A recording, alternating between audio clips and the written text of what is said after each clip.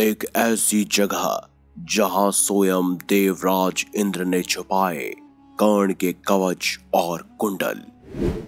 इस जगह के बारे में जानकर आप भी हैरान रह जाएँगे, क्योंकि आज तक इस कलयुग में इस जगह के बारे में किसी को पता नहीं था। और यहीं रखे हैं सूर्य पुत्र दानवीर कर्ण के कवच और कुंडल। आप देख रहे हैं मिस्टीरियस हिंदू। तो चलिए अब करते हैं ज्ञान की बात। वीडियो में आगे बढ़ने से पहले चैनल को सब्सक्राइब करें और बेल आइकन ज़रूर दबाएँ, ताकि ऐसी ही खास लेटेस्ट अपडेटेड वीडियोस आपको जानने और सुनने को मिलती रहे। धर्म और अधर्म की लड़ाई, महाभारत। जहाँ कुछ ऐसे शक्तिशाली योद्धा भी थे, जो पांडवों को अकेले ही हराने का सामर्थ्य रखते थे, और उन्हीं महान योद्धाओं में से एक योद्धा सूर्यपुत्र कर्ण भी था। लेकिन श्री कृष्ण की लीलाओं ने पांडवों को महाभारत का युद्ध हारने नहीं दिया। अपने साथ हुए अन्यायों के कारण ही कर्ण कौरवों की तरफ़ से युद्ध लड़े थे। कौरवों की तरफ़ से युद्ध लड़ने के बावजूद भी कर्ण को आदर भाव से देखा जाता है। हम सब ये जानते हैं कि कर्ण का जन्म दिव्या कवच और कुंडल के साथ हुआ था।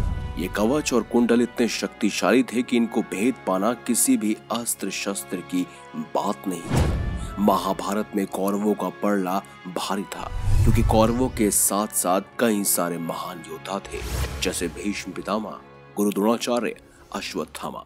आज के युग में हम ये जानना चाहते हैं कि आखिर कर्ण का कवच और कुंडल कहाँ है, लेकिन उससे पहले ये जानना ज़रूरी है कि आखिर वो कवच और कुंडल इतने शक्तिशाली क्यों थे? आखिर वो किस धातु से बने थे और उनके अंदर कौन सी शक्ति समाहित थी? वेद व्यास की महाभारत में इसका वर्णन मिलता है। आदि पर्व के 112 अध्याय में एक कथा आती है, जिसके कारण हमें कर्ण के कवच और कुंडलों के साथ जन्म लेने के उसके निश्चित कारण को भी समझाया गया है। दरअसल ये कवच और कुंडल अमृत से बने हुए थे। कहा जाता है कि ये इतने शक्तिशाली थे कि स्वयं भगवान कृष्ण के सुदर्शन चक्र और साथ ही भगवान शिव के त्रिशूल से भी नष्ट नहीं हो सकते थे। उदाहरण के तौर पर आपको बता दें कि जब समुद्र मंथन हुआ था, उस समय राहु ने अमृत का सेवन कर लिया था। उसके बाद भगवान श्री कृष्ण ने उसके अंगों को अपने सुदर्शन चक्र से काटा, लेकिन वो दो भागों में विभाजित हो गया। ऐसे में राहु मरा नहीं, बल्कि दो भागों में विभाजित होकर राहु और केतु बन गया। और उन्हीं अमृत से इन्हीं कवच और कुंडलों का निर्माण हुआ था। साथ ही वेद व्यास की महाभारत में कई बार कवच और कुंडल के साथ जन्मे कर्ण को एक युवा योद्धा के तौर पर बताया गया है। अब इसके पीछे भी एक गहरी साइंस है। कुंडल कर्ण को इतनी ऊर्जा प्रदान करते थे कि कर्ण हमेशा एक युवा की तरह जोश से भरा रहता था। उनकी रफ्तार भी हमेशा तेज रहती थी और वो एकदम चौकन्ने से रहते थे। वहीं उनका कवच अभेद्य था, जिसे कोई भी नहीं भेद सकता था। इसीलिए आपने अगर वेद व्यास की महाभारत पढ़ी है तो वहाँ पर हमेशा ये वर्णन मिलता है कि कुरुक्षेत्र युद्ध में कर्ण को अनेकों बार एक युवा योद्धा के तौर पर प्रस्तुत किया गया है। ऐसे में यह साफ़ है कि कर्ण के कवच और कुंडल इतने शक्तिशाली थे कि वो उन्हें युवा भी बनाते थे और उनकी सुरक्षा भी करते थे। लेकिन अब जानते हैं कि आखिर वर्तमान में वो कवच और कुंडल कहाँ पर स्थित है।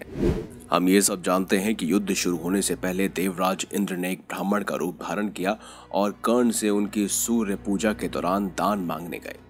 और बदले में कर्ण ने भी उन्हें जब अपना कवच और कुंडल दे दिया उन्हें अघोम अस्त्र की प्राप्ति हुई। उसके बाद इंद्रदेव उस कवच और कुंडल को लेकर वहाँ से निकल गए। कहा जाता है, साथ ही हमारे पुराणों में वर्णित है और यहाँ तक कि महाभारत ग्रंथ में भी मौजूद है कि इंद्रदेव जब कवच और कुंडल लेकर अपने रथ से स्वर्ग की तरफ़ प्रस्थान कर रहे थे, उसी समय वहाँ एक आकाशवाणी हुई, जिसमें देवराज इंद्र को कहा गया कि आपने एक बहुत बड़ा पाप किया है। इसीलिए अब आप स्वर्ग में प्रवेश नहीं कर सकते जब तक आपके पास ये कवच और कुंडल रहेंगे। ऐसे में इंद्रदेव ने उसे ओम पर्वत के तलहटी पर छुपा दिया। लेकिन उसके बाद चंद्रदेव ने उन्हें चुराने का प्रयास किया, जिसके बाद इंद्रदेव ने वापस उनसे वो कवच और कुंडल लेकर सूर्यदेव की सहायता से उसे कोणार्क में स्थित सूर्य मंदिर के अंदर छुपा दिया। कहते हैं, सूर्य मंदिर की तलहटी यानी कि उसके नीचे एक ऐसी गुफा है, जिसमें कर्ण के कवच, कुंडल मौजूद है। और कहा यह भी जाता है कि आने वाले कलयुग के अंत में भगवान श्री कृष्ण के दसवें अवतार, यानी कि कल की अवतार, इस कवच और कुंडल को धारण करेंगे। आपके क्या विचार है? कमेंट बॉक्स में ज़रूर बताएँ। वीडियो अगर आपको अच्छी लगी है तो लाइक करें, चैनल को सब्सक्राइब करें और देखते रहिए। संपूर्ण ज्ञान का केंद्र बिंदु मिस्टीरियस हिंदू।